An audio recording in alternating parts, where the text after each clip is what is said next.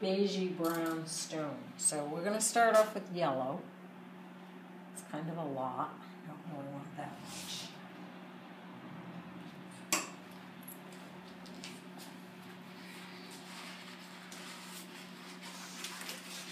So when right now I have too much yellow in here, so I'm just going to wipe it off with the towel.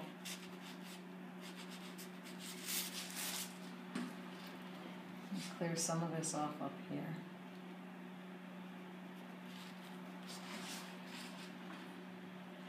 Mix a speck of red in with that yellow.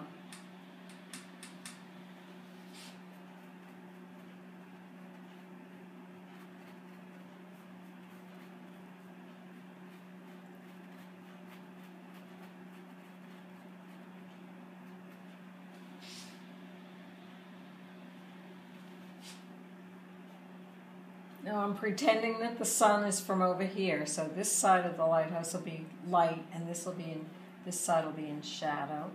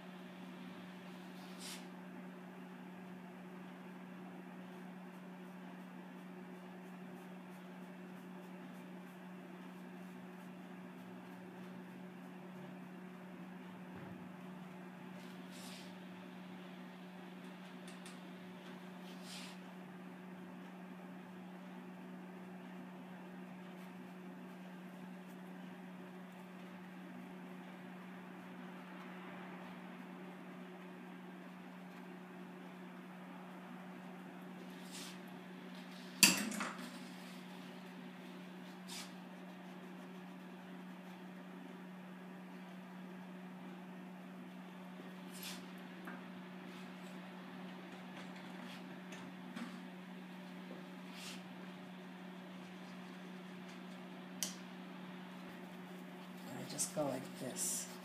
And the first is picking up the purple paint because it's wet, but when it dries it will be, I can put another layer on it. Right now I don't care that it picks up that purple.